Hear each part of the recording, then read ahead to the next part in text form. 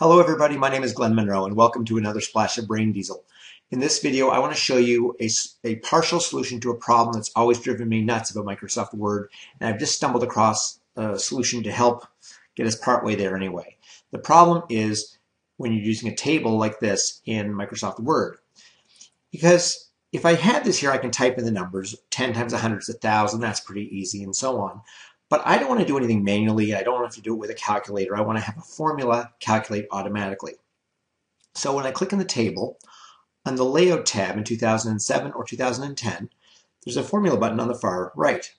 So I click on the formula button and this shows up. And you'll see that by default it's the sum of the left, which is actually kind of neat compared to how these formulas write in, say, Power uh, in Excel. Um, so the sum to the left, well, that's interesting, but I don't want the sum. I want the, to multiply them. So the word for multiplying is product. So I'm just going to take the word sum, change that to product. So that's fine. And I'm going to choose my number format to be the currency model. And I hit OK, and it does the math for me. Now I can take this field that I've inserted, and I'll copy this and I'll paste the field in here. So that's pasted in. Don't worry, don't worry about the numbers just yet. That's part of the problem we'll deal with. Now I want to subtotal what's above it. So I go, go to my formula button, sum of above, perfect. Let's make it be in currency format. Hit OK. That works great. Now the tax where I live is 13%. So now I want to multiply this. This one's a little more of a step to it. What we're going to do is hit the formula button again but we don't have anything as clean as the sum of above or multiply the one above me or something like that. So what I need to do here is I need to count out the letters and numbers for the rows and columns, similar to what you have in Excel. So I want to take this $2,000 and multiply it by 13%.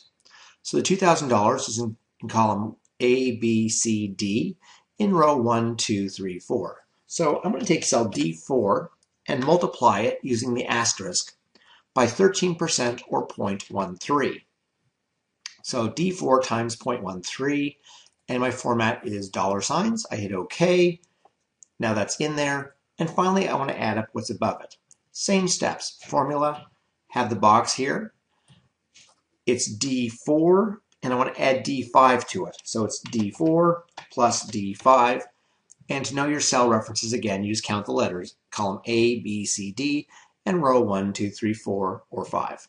So D4 plus D5, I put this all in, and fantastic, I have my numbers. So I have numbers, and it's all there. The problem is that the numbers are wrong. It's the formula is perfect, but it's not updating automatically, and Word doesn't update automatically. Why? I have no idea. It should.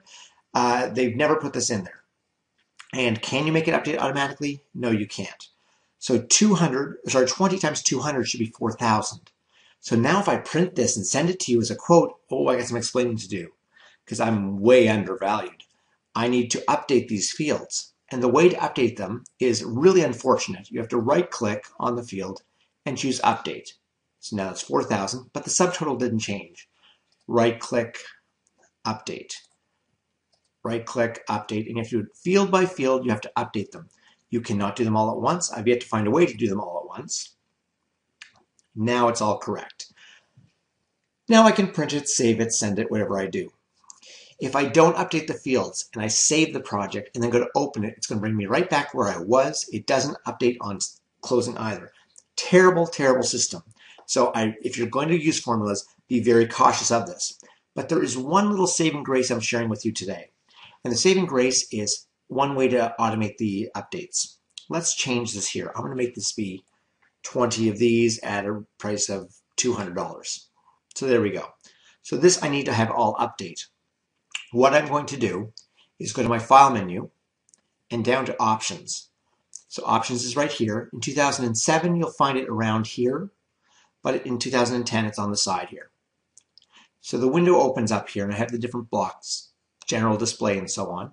I'm going to go to display and then down here in the printing options to update fields before printing. Why this isn't checked off as a default is beyond me. It should be at least there. But now I hit OK. Nothing has changed. As soon as I go to print it, it's going to, to change. So I go to my file, I go to my print, or there's a shortcut, Control P. But I'm going to show you this way. I go to File to Print, and it shows me here it's still not updated. Once I hit the print key,